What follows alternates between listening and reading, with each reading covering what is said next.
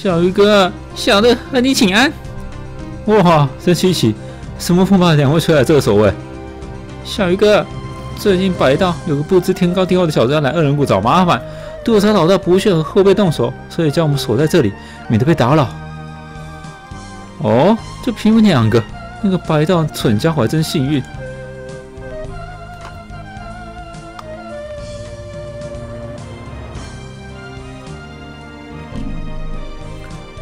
天山逍遥派林志辈第一高手少林通，今日来恶人谷降妖伏魔的。恶人谷有谁敢与我一战？哇，于老大武功盖世，这小子交给你了。童心不察，外敌有了愚兄要礼。你们恶人谷的人，你和我交手的胆子都没有吗？搞不清楚状况的家伙。就叫你知道厉害，可以偷东西是不是？偷，鬼鬼气丸，哎，他会连打三下是怎样？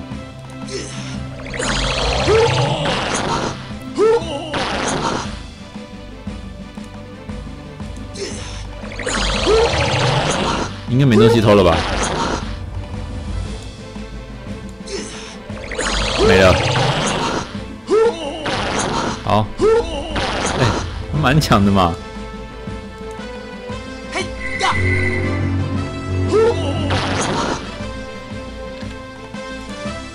嘿呀！嘿呀！哦，这么强啊！嘿呀！长空指法，满边。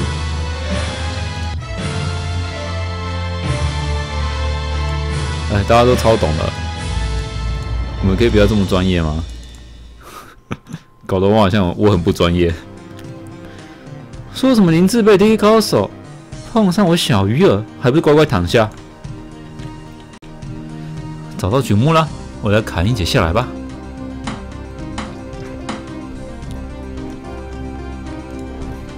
得到举木了，可以回去找三位老头做人人面模子了。哎。怎么了？哦，应该主线剧情吧。瞧瞧你们在玩什么？魏无心，听说你进谷没多久就很嚣张嘛？树要招风，你这是有听过的。赶快对月球了，我们就考虑收你做部下。你们三个痞子是谁？约我到此，连望儿都抱不出来，可笑。嘿，咱们是二人谷堂堂的人间三恶，我是苦命儿，这位是张地龙，另外一位是童心。举凡飞禽走兽，无一不是我们残害的对象。我们还会放火下毒，破坏东西，拿手绝活自然是围殴了。怎么样，怕了吧？现在咱们手头紧，正要个小弟跑跑腿，弄得银用来花花。人家可是我连我小鱼儿都让三分的喂蛇鳖，三个没见过世面的白痴。我要倒大霉喽！哼，你们说的坏事，恶人谷三岁小孩都会，要我心服？先说真本事。你没看这根凶狠的山猪，三两下就被我们兄弟擒了，你有这种胆识吗？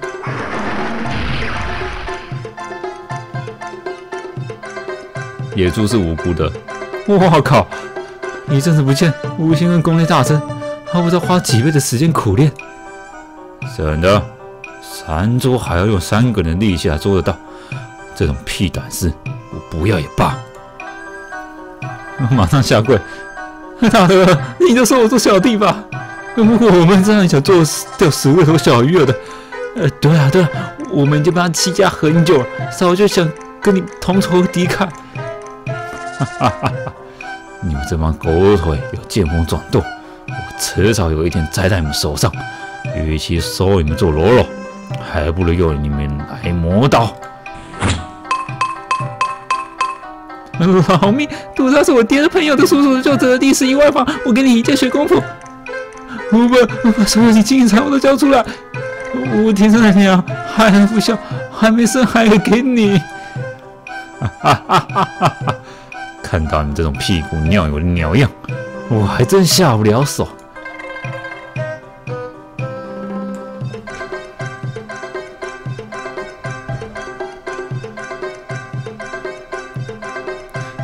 真倒霉，身上撞邪了，火要快从猪脚面前吃，压压惊。嗯，你那不行，给焊的。他不是有个妹子叫魏金敏吗？同心兄，你不是要给伯母添个孙子？说的对。想着想着，我口水都流出来了。等叫我徒劳要罩着，你也敢动？给他先先 先圈再插，事无对证。后山这么大。我就不信土二婆找得到这这两个字，我不好不太好意思念啊，就跳过。这样伯母是没孙子了，不打紧，反正他也见不着了，有没有不重要吧？嘿，当老兄果然禽兽不如，小弟甘拜下风。嘿嘿，你们是不是要讨论这个月要进贡什么东西给我？对对啊对啊，我们在想办法凑些有趣玩意给你。不过这阵子咱们手头比较拮据，你就宽心宽心两天。哎，对啊对啊。老妹，我做错了什么？你知不知道最近认了一个干妹子，好像叫做魏精灵什么的。呃，大哥你那干妹子就是我们大嫂了，那一定是百般敬重，不敢怠慢的。刚刚有一阵风吹过耳边，我不小心听到锦瑟说了一些淫秽的话，那一定是我听错了哈。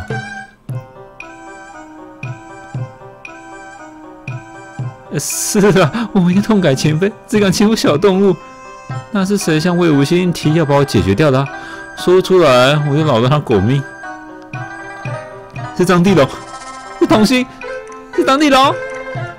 互相出卖，你们友情彼此还要薄。那我就拿你们警惕警惕。上山万朗托那拿着行气解郁的药丸，那我先给你们紧张。你们既然表决不出结果，一丘之貉，应该同甘共苦。我这里有万神续命延年丹，一人一粒，长命百岁。儿子有孝，孙子乖。大哥老命，这样啊？这真的是续命延年的金丹呢。你们要知道，我可是一言九鼎。你以前的肉根。叫巨蟹给我们吃，害我们养了三天。要不就是四部电身上用十字刀，你剑伤用不出了，我们不信呐。魏无心要对你不利，我们找人他给你换解药好不好？你头可以灌豆腐渣，你有本事还是给我下跪？魏无心刚才怎么一刀斩了你？老大，小的有点疑问，魏无心不是跟你交，你怎么会能魏精灵当干妹子？莫非你跟小的有同样的兴趣，在饮药中下迷药？迷昏女孩子是我的绝技，我教给你换解药如何？妈的高子，谁跟你兴趣一样？要女人抖动两下子就上手了，那用得着迷药？魏无心是我敬重的对手，魏家妹子身世可怜，要人照顾。听好，我解药会交给魏经理，这病一个月发一次，要命的龟孙子每个月去找你姑奶奶问案。其实你们互有心机，又贪生怕死，欺上怕恶，不用担心会先毒死。恐怕你们已经互相陷害而死，快滚吧！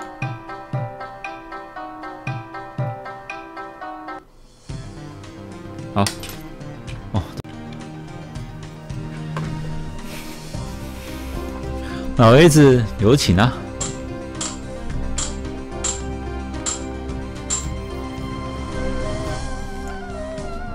那酒是怎么一回事？这老儿还清醒吗？明耀果然治不住那一抢的家伙。我本来想和你说，那女和红是笑伯伯珍藏的金金贡一口醉，内功再强也不过一口，后劲十足，无与匹敌。你就一把抓去，准备喝掉，怎么会不醉？真的吗？答应的事办完了，你也可以在我买卖物品了，但是没有折扣。即使你梦到那破假刃，也不折扣。我又有向你要折扣了。怎么用小人之心度君子之腹？以为人刻薄，我还没揍你在帐外高原养的牛羊还死几只嘞！好好好，一分钱一分货，银货两讫，两不亏欠。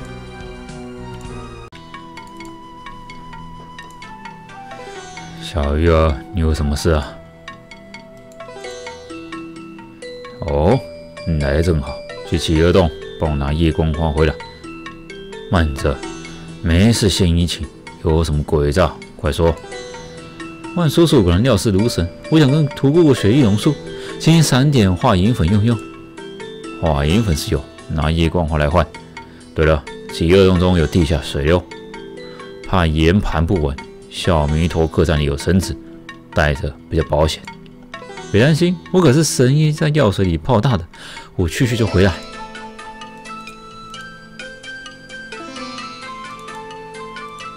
不对啊，你怎么知道？怎么知道客栈有绳子？难道温春游你也你也跟哈哈伯、哈哈鹅一起？咦哦，绳子在这里。好，好，再出二人古墓。二人古墓。好，夜光花在这里。找到夜光花了，我得赶快拿回去给万叔叔的。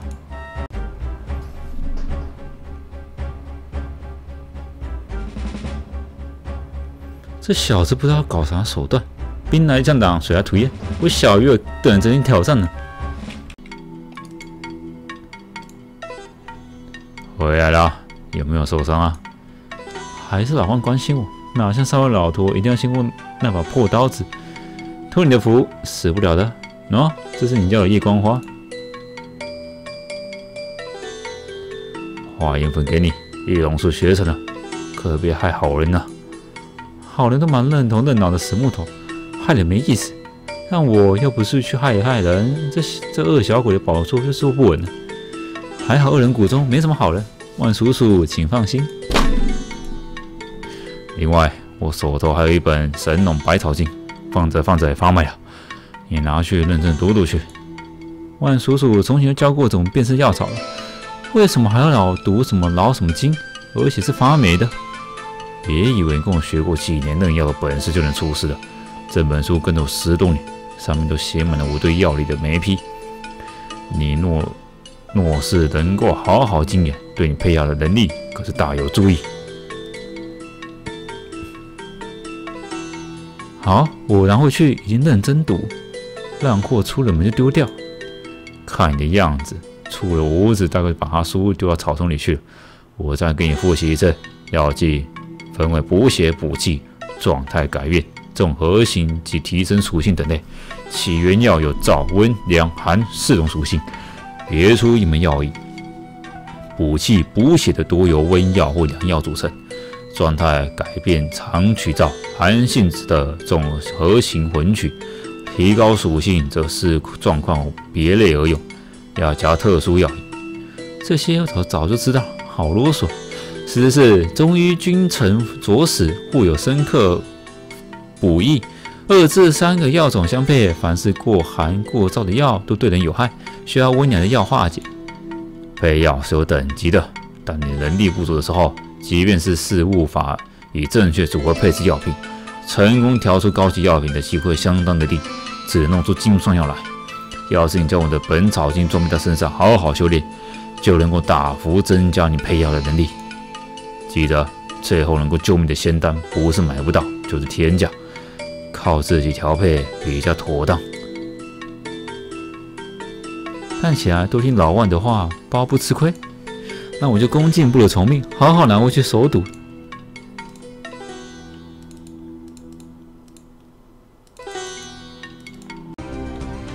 图姑姑，四样东西找齐了。什么四样东西？我不晓得。这难道叫好好事多磨吗？学了易容术还要拐这么大弯，该不会图姑姑那一个月来一次的，不让你高兴，讨不到好处。这样子姑姑就更年轻了，没大没小。我在想是姑姑不要心烦，人一烦就老得快。姑姑有什么困难，让小月儿帮你解决。魏家娃子那里后，忧愁的时候多，快乐的时候少，看了我就心疼。你长这么大，也能够安慰安慰他。有啊，我什么时候欺负他了？虽然帮他挡掉三个皮子，怎么能够说出来？我见这娃好像对你有点意思。你要说什么快讲，不要讲一半。我只拿她当妹子的，姑姑应该知道。行走江湖最忌讳有牵挂，做大事不能洒脱，就不漂亮了。想当年，我相好就在酒中下迷药，原来咱们的杨远。我梳妆台有关迷药，你情我愿，两小无猜。哎，你该不会就说，该不会是说司马烟吧？你耳朵长茧啊，不听我说话。你迷药早就拿了，但我做不出这么下流的事。好了，姑姑。快赶快赶快教我易容术，我好去逗魏经理开心。先把木雕面膜拿出来，大陆像素之，你的脸型就出来了。静心蓝之意能让橡胶产生小孔，面具透气，戴久了脸皮才不会坏死。画银粉可软化胶面，捏成你想要的脸型，再加上点彩就可以了。若是遇到脸型轮廓太深的，就要点填一些面粉。或垫上草纸，所以人物胖瘦就用衣服造成错觉。外貌容易神形难，最难模仿的，模仿的反而是神韵。小玉儿尽量不说话就好。谢谢涂姑姑。二人大会就开始，赶紧将功夫练好，明天早点休息。还有，我回屋里面瞧见魏经理，我有点甘心。你有空替我多留意一些。姑姑放心，你不说我也会多注意的。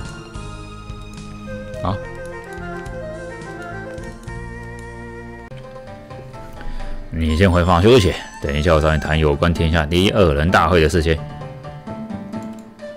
好，回房。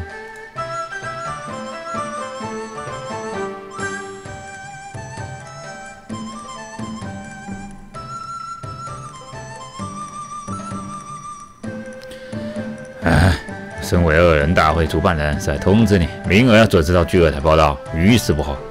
你今天可要好好养精蓄锐。不烦你了，哈哈。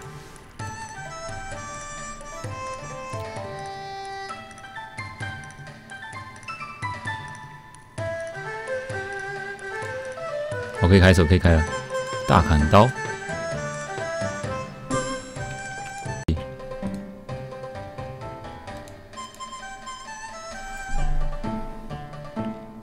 嗯，那有人休息躺成这样子的。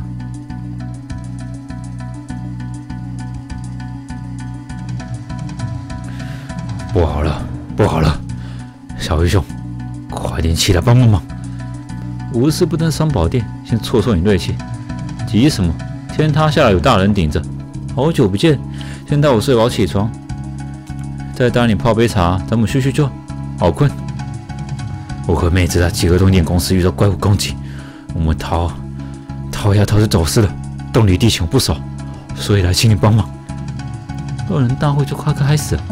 该不会有鬼诈吧？先试你一试，你妹子死活关我屁事！教你一句恶人谷生存的金科玉律：开口求人之前，先想一想能给人带什么好处。嘿，好生我敬重你想当当对手，才拉下你来求你，没想到你竟然冷血无情，我真是看错你了。哼，第一恶人果然还是由你未免比较适合。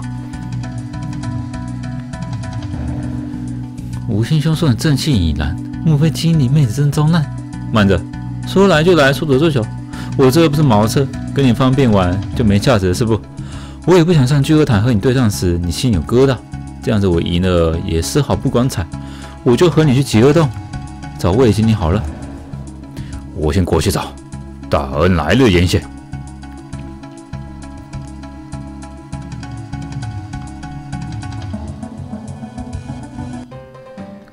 好累哦，也该好好休息一下。哈哈，结果还是休息了嘛。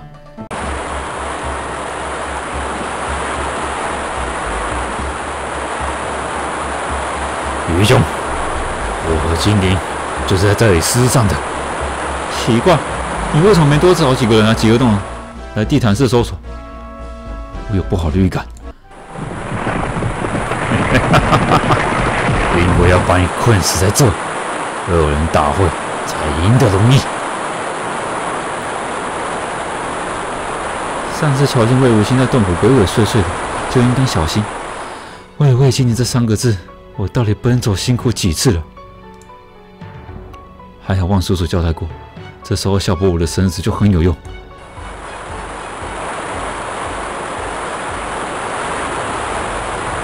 好狠！五行老兄，你还在上面吗？我本来想偷看你的赏花，没想到愚兄还带着绳子。难道我小鱼儿就命毙于此？恶人死他恶人谷，真是适得其所。哈哈，做人这么绝，生儿子没屁眼。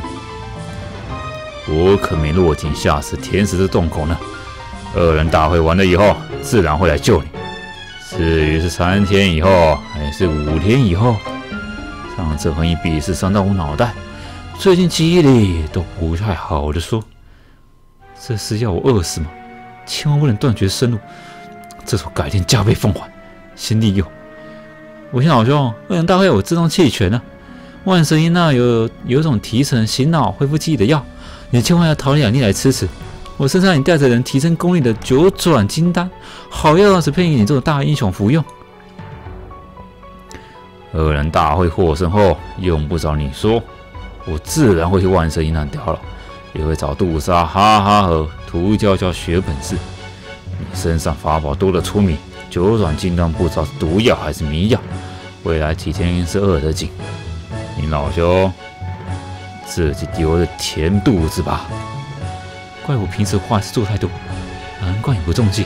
好，动之以情。无心大哥，你也知道我对你妹子有情有义，不然就不会利用她当幌子引诱中计。我要是挂了，这你不哭了死去活来才怪。哎呀，你少自作多情，好像我妹子一定嫁你似的。天下好男儿这么多，你一直待在谷中，根本就是井底之蛙。好了。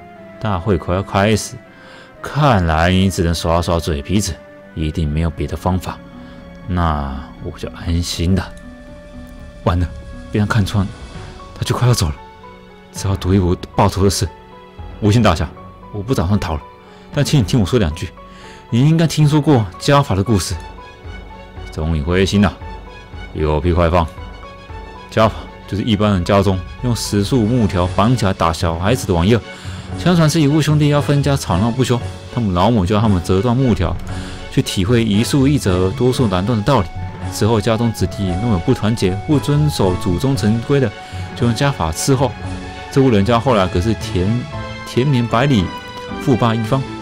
你现在报复仇，一人之力毕竟难成。要是有我相助，保证是如虎添翼。哈哈哈哈哈！当时我爹是被他最亲近的师兄所杀。我除了自己，连金银都不是很相信，又怎么会信你这个外人？我宁愿找一些奴才，能受我控制的人帮忙，也不找你这种聪明过头。不过你讲的很好，我真的有点心动，想放你出来。老实跟你讲，我很少和人聊我的私事，知道我秘密的都注定要死。你可是和我聊太多了，他已经当我是死人。那更不可能救我！狗杂种！你有胆下来和我决斗？你给我回来！我出去以后一定要杜莎包你的场，要屠菇阉了你！哎，我念恼羞成怒，越生气只会更糟糕。冷静，冷静，先四处逛逛，就算找不出出口，也要先看看有没有什么地方可以冲击，先活下去。这种办法。东域斩第一重。好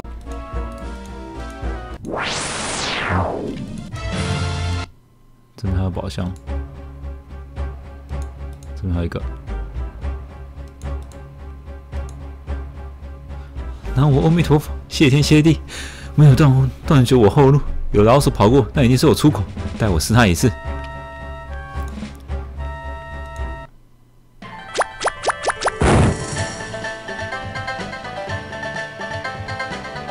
哈哈，比赛经过淘汰后，已经进行到准决赛。由于小鱼儿是历届二人冠军，所以可以直接晋级准决赛。目前魏无羡没有败绩，所以剩下来的四位选手小鱼儿、苦蜜儿、张立龙、唐鑫必须交叉比赛后，由最胜者与魏无羡争夺第一二人的名号。再次强调，比赛没有任何禁忌，无论查木攻击下体、用暗器、装饰各类卑鄙手段都可以，直到有人认输为止。但是不要真的伤人性命。回合赛毕，中场可请台下万神医走后再战。双方都站到台上后，再开始比赛。好，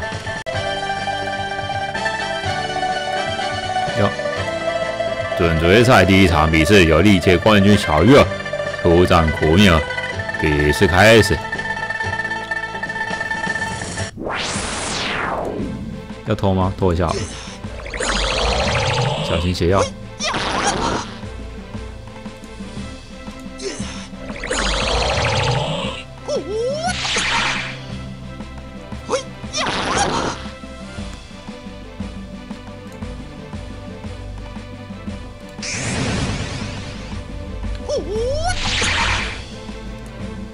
再偷一次，小薄弱药。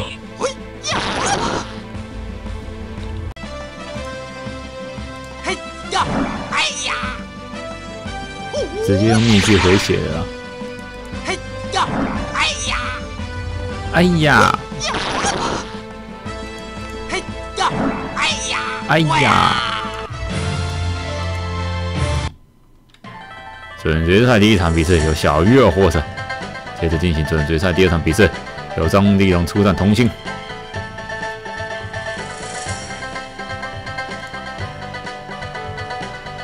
准决赛第二场比赛由童星获胜，进行准决赛第三场比赛由小鱼儿出战童星。不是说可以补血吗？好像都是血药。他们都可以连续攻击哦，太过分了吧？哦，妖灵剑法。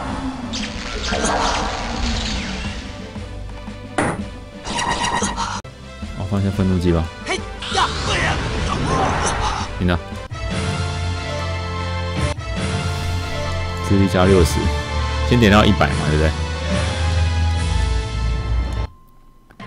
准决赛第一场比赛由小鱼儿获胜，接着进行准决赛第四场比赛，由张迪龙出战苦命儿。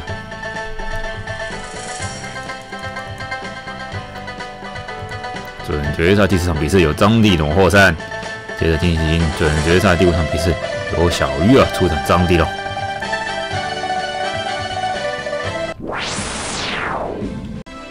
打赢收工。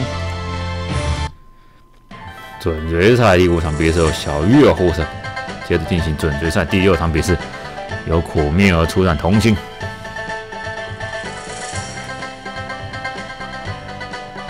准决赛第六场比赛由苦命儿获胜。总决赛由小鱼儿三战全胜，进入总决赛。好，就这样。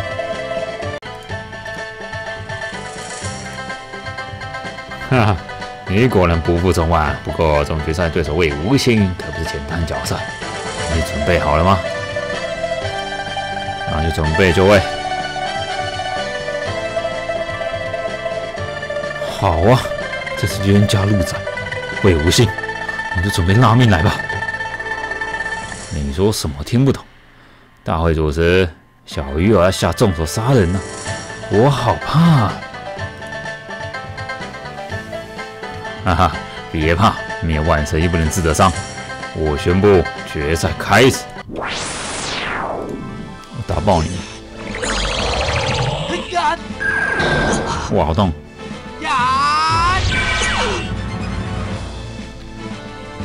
啊！直接用那个断律斩。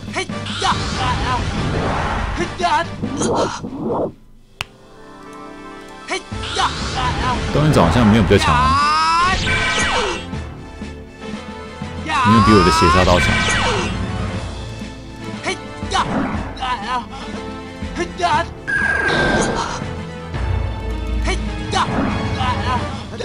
你呢？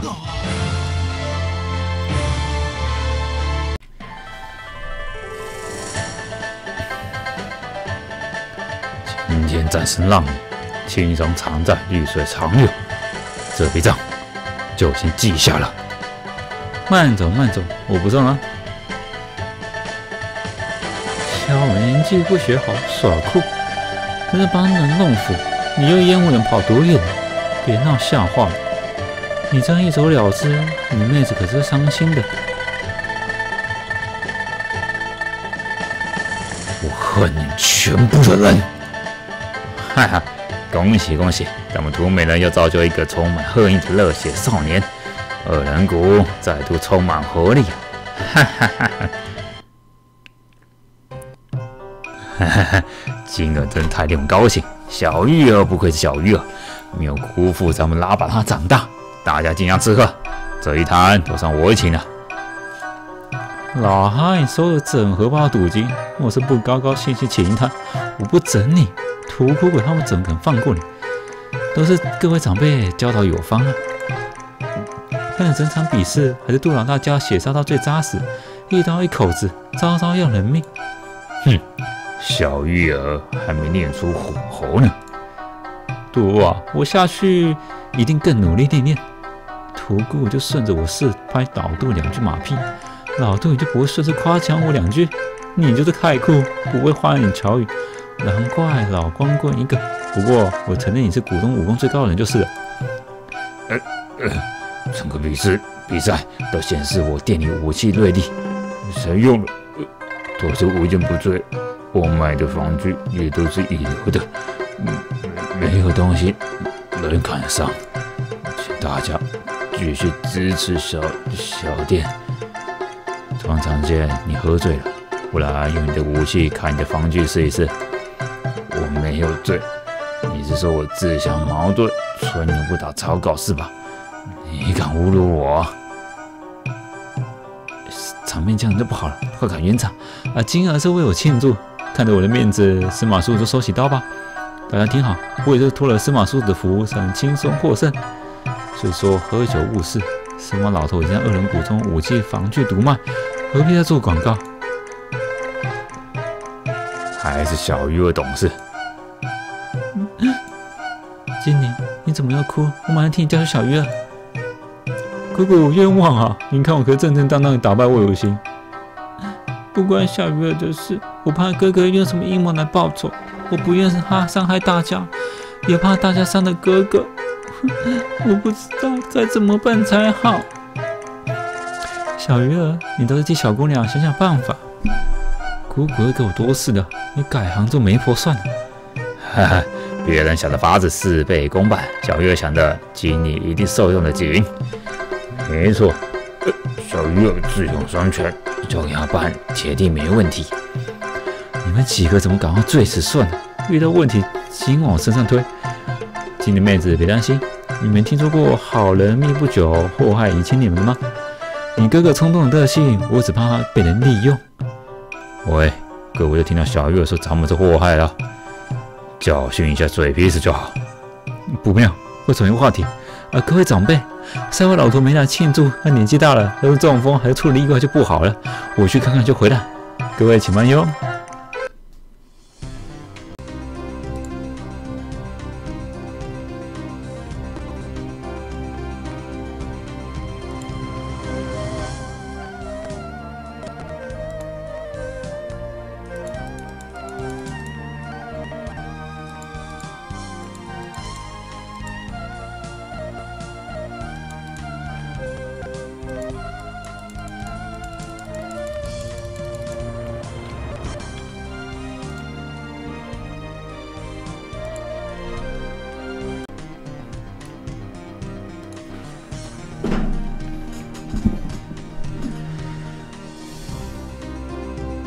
老爷子，平时受你照顾，今儿庆祝再次未眠，特别带了一瓶好酒跟你分享。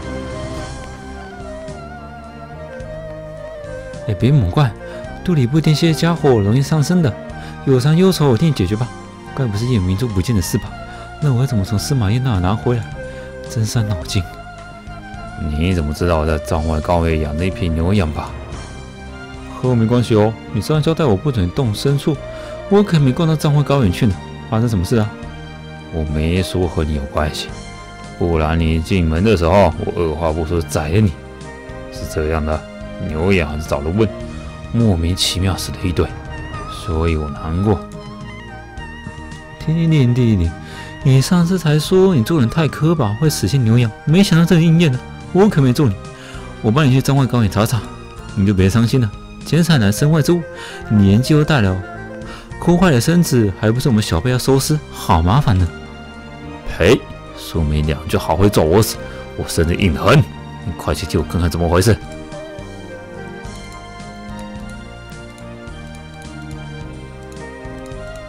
好，这边买东西，好，就这样。